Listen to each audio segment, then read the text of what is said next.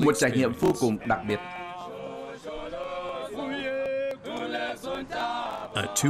Một chuyến tàu kéo dài hai tuần xuyên suốt Zimbabwe, Mozambique và Nam Phi.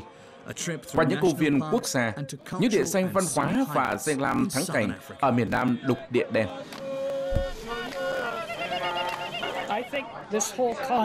Tôi nghĩ việc khám phá một đất nước qua một chuyến tàu hỏa sẽ mang đến rất nhiều điều thú vị.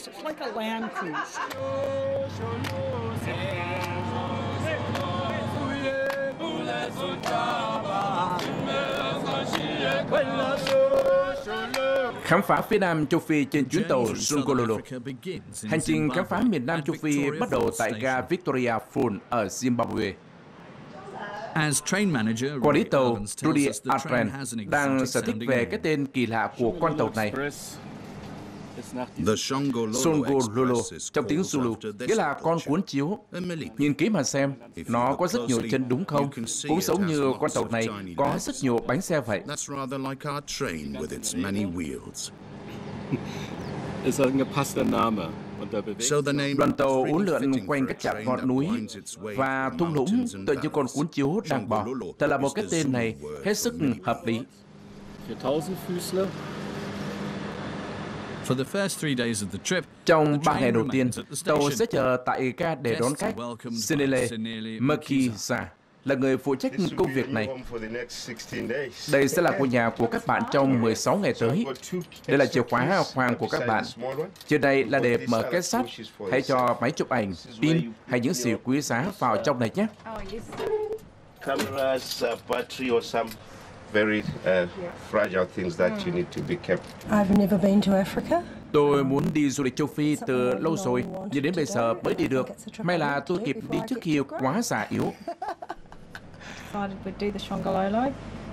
Cơ bản là tôi muốn nhìn thấy hết thật nhiều các loài vật, nên chúng tôi đã chọn chuyến tàu Sunkololo vì nó có một hành trình hoàn toàn khác biệt. Before the train sets Trong lúc tàu chưa khởi hành, du khách có thể tham quan thác. Victoria gần đó. Đây là nơi mà con sông Zambezi 108 đổ xuống từ độ cao 108 mét. Một cảnh tượng thật kỳ vĩ. Người dân địa phương gọi thác nước này với cái tên thunders, Tunia, nghĩa là màn khói xèo. Do nhìn từ xa, bụi nước li ti hệt như sương khói. For more than a Trong hơn một thế kỷ, những ai đi tàu đã luôn đến thăm thác Victoria. Tài xế của đoàn tàu hơi nước này là Lamek Sembu. train. I started driving Tôi bắt đầu lái tàu hơi nước từ năm 1971 cho đến tận bây giờ.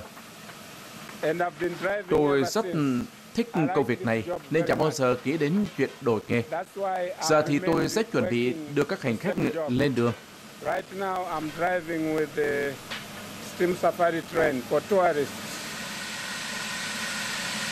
engine, Đầu máy hơi nước số hiệu 512, 512 and the nearby và chiếc cầu đường railway sắt bắc the qua sông Zambezi luôn nhắc người ta rằng 100 years tuyến đường này đã từng là một dự án khổng lồ vào thời điểm gigantic 100 năm trước.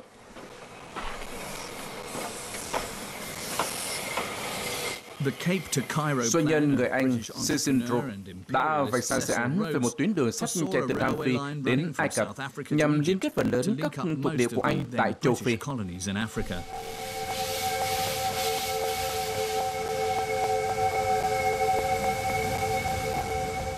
Kế hoạch khổng lồ đó chỉ được thực hiện một phần. Tuy nhiên, chiếc cầu sắt hoành tráng bắc qua sông Zambezi vẫn được hoàn 1905. thành vào năm The sections were 1905. manufactured in Các phần của nó được sản xuất tại Anh, chuyên chở bằng tàu thuyền đến đây để lắp ghép. Khi hoàn thành, 156 chiếc cầu dài 156 mét. The steam locomotive Chiếc đầu máy hơi nước dừng lại ở giữa cầu để hành khách có thể xuống ngắm hẹp núi và thác nước.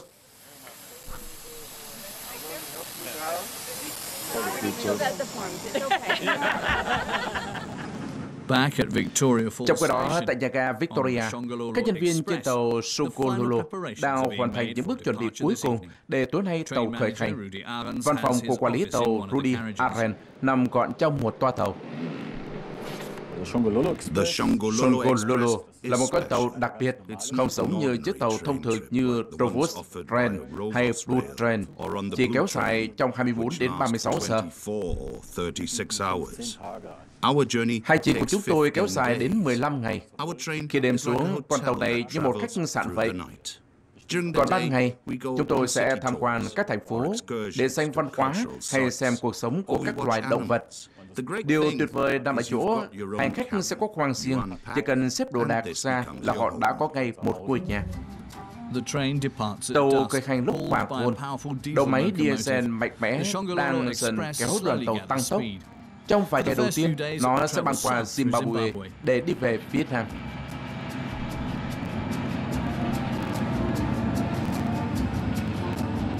Một transports toa the tàu còn mang the theo các xe buýt mini để chở khách đi ngắm cảnh.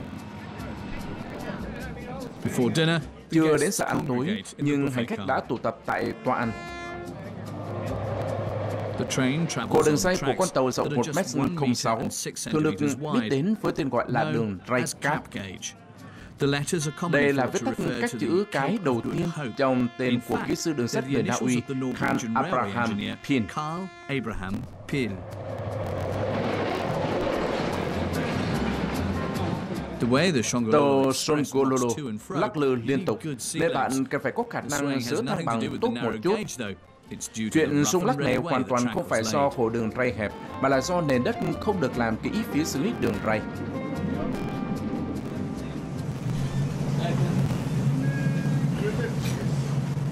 Trong bếp, các món ăn đang được chế biến từ nguyên liệu tươi sống.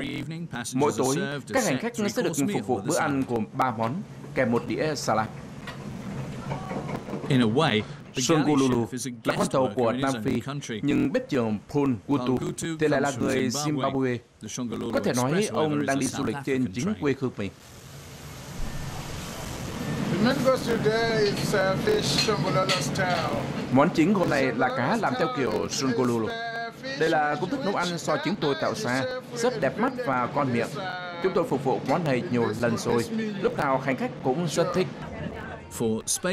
Ăn được bài trí theo phong cách từ thời thuộc địa. Mỗi người đều có ghế riêng của mình.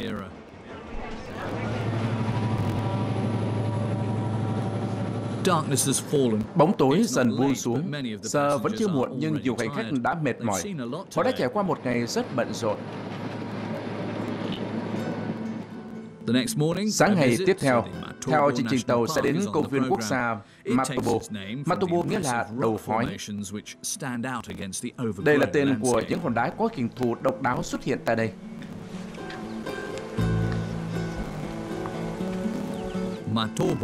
Đối với một số bộ tộc châu Phi, đá mang ý nghĩa thiêng liêng.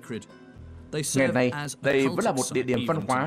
Cecil Road, of cha đẻ của Rhodes tuyến đường sắt này, cũng đã từng mong muốn được chôn cất tại đây.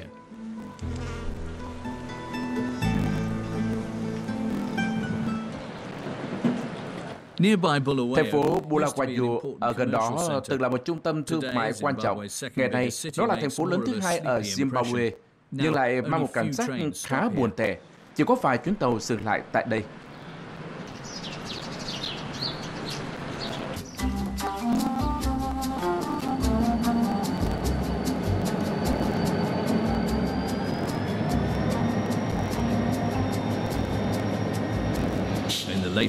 Đến chiều muộn, tàu Bulawayo rời. Bulawayo và đi về phía đông.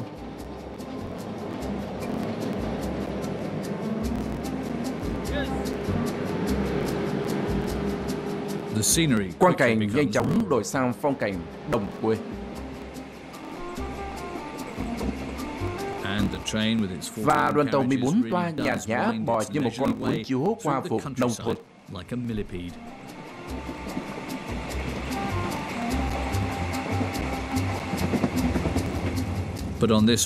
Dù sao thì đây cũng là chuyến ngắm cảnh, not tốc độ important không quan trọng lắm.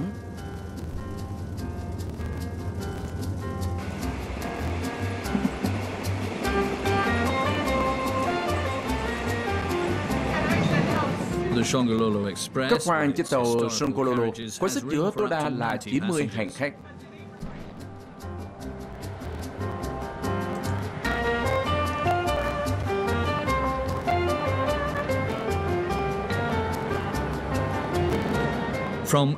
Từ trạm tiếp theo, hành khách sẽ được đưa đến công viên Antelope gần Weru.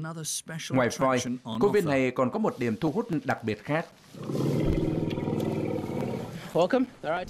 Nhưng trước khi bắt đầu chuyến tham quan, họ sẽ nghe Samuel Takachita hướng dẫn các quy định về an toàn. Lát nữa, những con sư tử their này sẽ được thả ra. 12 months old, they're Chúng được not 12 yet tháng tuổi, chưa trưởng thành hoàn toàn, nhưng vẫn phải cẩn thận khi tiếp xúc. Du khách sẽ được vuốt ve chúng và đối với nhiều người, đó sẽ là một trải nghiệm rất đặc biệt. Lông của chúng thô ráp hơn so với lông mèo, thô ráp hơn rất nhiều. Nhưng đây là một loài vật rất đẹp và đáng yêu. Chúng còn tỏ ra bình tĩnh nữa. Nhưng hãy thận trọng. Even at Ở tuổi này, răng và móng của chúng đã có thể gây nên những tổn thương nghiêm trọng. Okay, it's called a juke. It's like it's like a thumb. Ở bàn chân của chúng có một móng tương tự như con cái của loài người, dùng để tạo lực bám. Khi chúng bắt được con mồi, chúng sẽ dùng móng đó bấu vào, sau đó xé miếng mồi ra. Đây, nhìn này, thấy to kinh khủng không? That's the one. Gets crazy bigger. Những con sư tử này vẫn tương đối lành tính vì chúng chưa đến tuổi trưởng thành. Cuộc tiếp xúc với đàn sư tử kết thúc sau khoảng một giờ rưỡi. Hành trình lại tiếp tục hướng đến những vùng đất hẻo lánh tại Zimbabwe.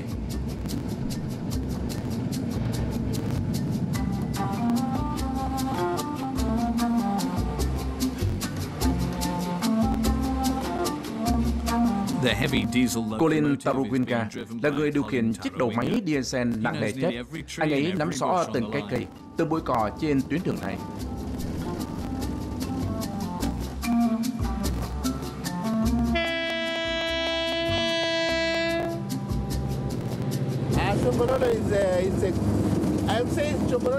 Safari. Songololo là lựa chọn tuyệt vời nếu muốn ngắm phong cảnh châu Phi. Tôi rất thích công việc lái tàu này. Có thể nói đây chính là thành quả của cuộc đời tôi. driving. I enjoy quite a lot driving the train. It is quite, to me, it's quite an achievement.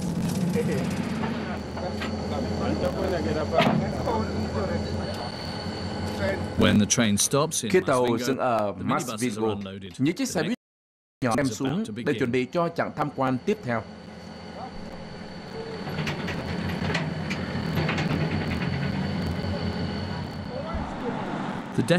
Đó chính là thành phố lớn Zimbabwe, một thành phố cổ được UNESCO công nhận là di sản văn hóa thế giới.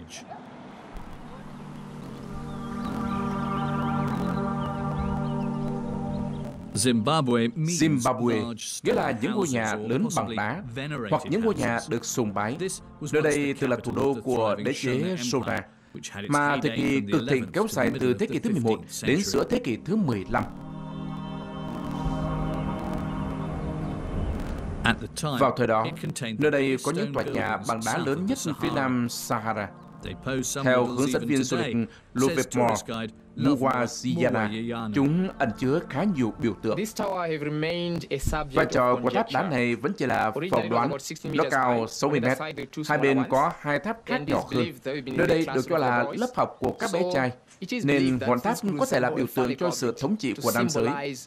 Một số thì cho rằng nó giống như các tháp chứa lúa hay ngũ cốc trong các trang trại và tượng trưng cho sự giàu có của hoàng gia. So it could symbolize abundant royal wealthy. As many as 18,000 people Vào thời xưa, nơi đây có khoảng 18.000 cư dân. Thành phố này trở nên giàu có nhờ chăn nuôi gia súc, khai thác vàng và thương mại.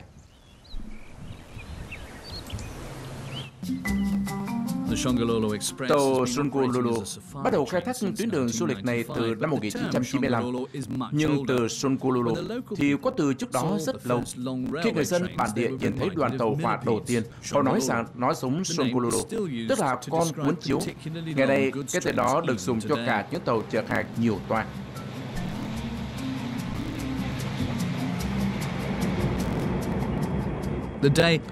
Vậy là ngày hôm nay cũng sắp hết. Ngồi trên toa tàu rung lắc khiến các hành khách mệt mỏi. Đến buổi tối, hầu hết đã lên giường ngủ. Còn con tàu thì vẫn tiếp tục lao vào đêm đen.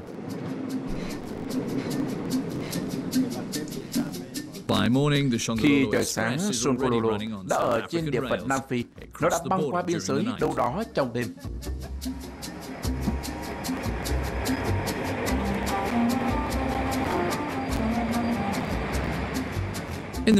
Trong lúc này, du khách vừa thưởng thức một bữa sáng thịnh soạn, vừa ngắm nhìn khung cảnh rộng lớn quét qua trước mắt.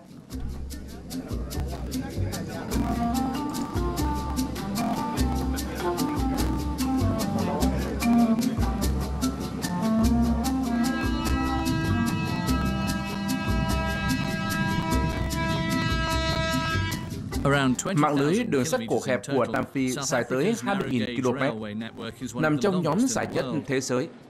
Ở đây cũng dùng khổ đường ray khác như ở Zimbabwe.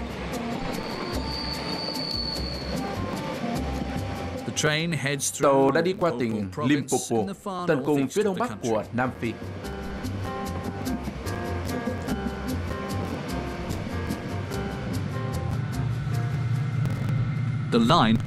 Tuyến đường sắt này có vai trò quan trọng đối với kinh tế và giao thương hàng hóa trong khu vực. Trong vài năm trở lại đây, ngành du lịch đang nổi lên như một gương mặt mới, phần lớn là nhờ công viên quốc gia Cruiser.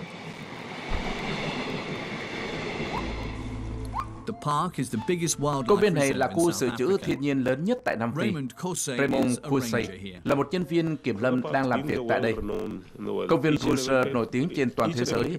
Khách du lịch từ khắp nơi trên thế giới đến đây để chiêm ngưỡng năm loài động vật đặc trưng tại công viên này. Tê giác chỉ là một trong năm loài đó. Nhóm năm loài này được các thợ săn đề cập đến nhiều do kích thước và mức độ nguy hiểm khi đi săn chúng.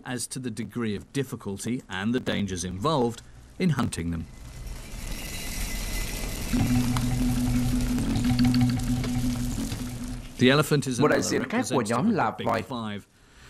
Ba loài còn lại là châu rừng, sư tử và báo. Do công viên quốc gia Ruser trải dài trên diện tích đến 20.000 km vuông, có phải lúc nào ta cũng thấy được chúng.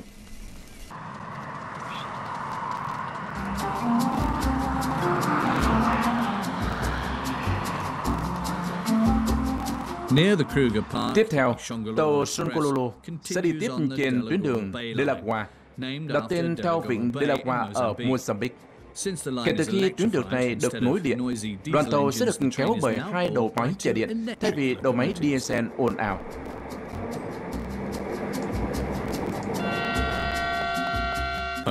Được khánh thành vào năm 1895, tuyến Delagua nối liền Pretoria ở Nam Phi với Maputo, thủ đô của Mozambique.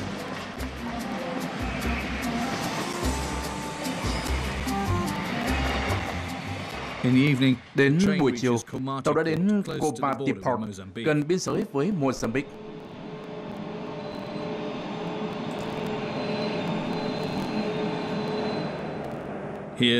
Giờ thì tàu Songololo sẽ phải đợi một chút. Chúng ta phải đợi đầu máy CFM từ Maputo. Lẽ ra nó phải có mặt ở đây rồi mới đúng. Tôi mới nghe tiếng gì đó giống như của nó. Đầu máy đó được sản xuất tại Ấn Độ. Nó có tiếng máy khác hẳn với máy diesel của hãng General Electric. Đầu máy CFM sẽ đưa chúng ta qua biên giới. Chỉ cần 15 phút, ta sẽ tới Resano, Garcia để làm thủ tục hải quan. Sau đó khoảng 3 giờ tới 3 giờ rưỡi sẽ có mặt tại Maputo. Sáng hôm sau, ga Maputo đón đoàn tàu với một bất ngờ nhỏ. Một cặp đôi đã chọn những toa xe cũ và đường ray dì xét làm nền cho bộ ảnh cưới của họ.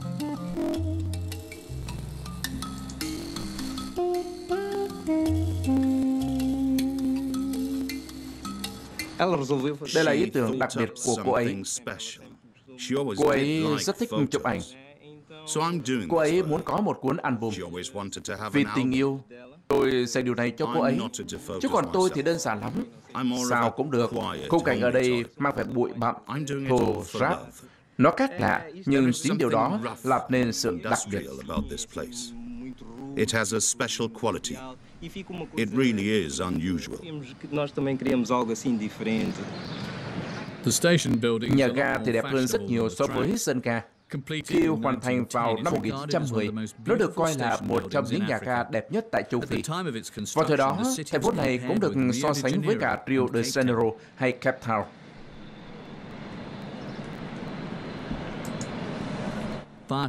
Nhưng trải qua một cuộc nội chiến, những đợt hạn hán hay bất ổn chính trị, tình hình tài chính ở đây đã trở nên hết sức ảm đạm.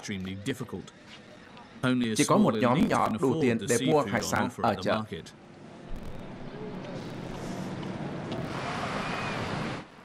Nằm bên bờ Ấn Độ Dương, Maputo có một vẻ đẹp rất đặc trưng.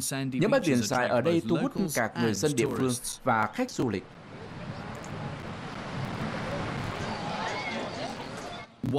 Trong lúc những người khác đang tụ tập vui chơi tại bãi biển, Costa do Sol, Jose Perisela đang chuẩn bị cho hành trình đến Nam Phi. Những chuyến đi quốc tế luôn rất tuyệt vời. Chúng ta có thể du lịch đến Zimbabwe, Nam Phi hay Swaziland. Ta sẽ đi vào buổi trưa, đưa mọi người đi đây đi đó, gặp người từ nước này, nước khác. Như thường lệ, việc sắp xếp các xe buýt mini là một việc đòi hỏi sự chính xác cao. Mọi khoảng không đều được tính toán sát sao.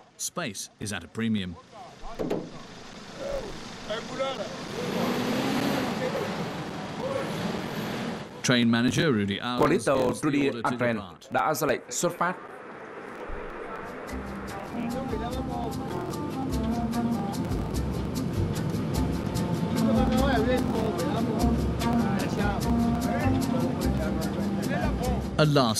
Có chút lộn xộn vào phút chót, lái tàu đã để quên bộ đàm và cả xếp thợ để tàu rời ga nữa.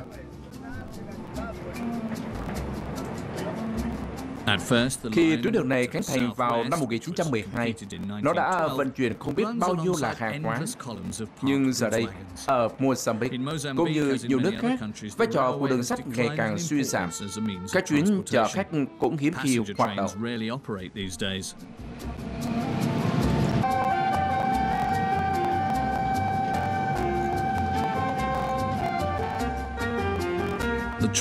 Giờ thì tàu đang hướng tới Nam Phi, mà chính xác là tới dãy núi Drakensberg nổi tiếng. Ngoài quang cảnh ngoạn mục, nơi đây còn thu hút bởi dòng sông nhỏ tưởng như rất bình thường này. Theo hướng dẫn viên Sherry Woodwin, nó có một điều hết sức đặc biệt. Vàng đấy, giống y như Alex Patterson đã tìm thấy vào năm 1873 và tạo ra cơn sốt đào vàng đầu tiên tại Nam Phi. Chỉ trong khoảng 2 tháng đã có gần 1.400 thợ đến làm việc, chưa kể 4.000 người khác chờ được cấp phép. Kèm theo đó là các dịch vụ ăn theo, quán rượu, khách sạn, tất cả những thứ góp phần tạo nên một cộng đồng nhỏ tại đây.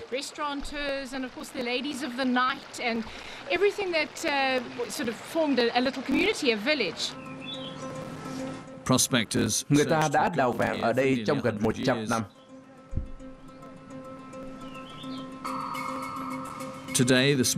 Ngày nay, ngôi làng nhỏ Pilgrim Rest này là một di tích quốc gia, một bảo tàng sống. Những ngôi nhà nhỏ ở đây được xây dựng theo phong cách Anh vào thời 1880. Sau khi đóng cửa trong gần 30 năm, khu mỏ ở đây đã được mở lại từ năm 1998. Shongololo đã đến chặng cuối của hành trình. Nó đang tiến đến Johannesburg.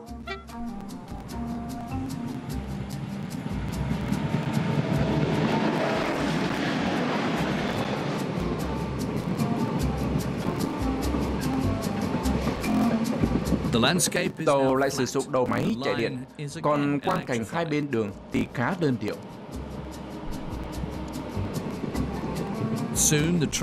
Chẳng mấy chốc, đoàn tàu đã đến vùng ngoại ô Johannesburg, thành phố lớn nhất Nam Phi, bỏ lại vùng nông thôn phía sau và chuẩn bị bước vào một đô thị sống động.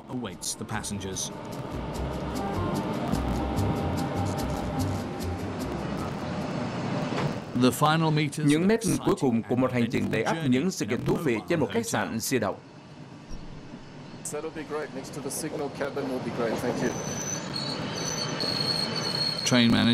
Chuyên tàu Rudy Adren đã có những cảm xúc lẫn lộn.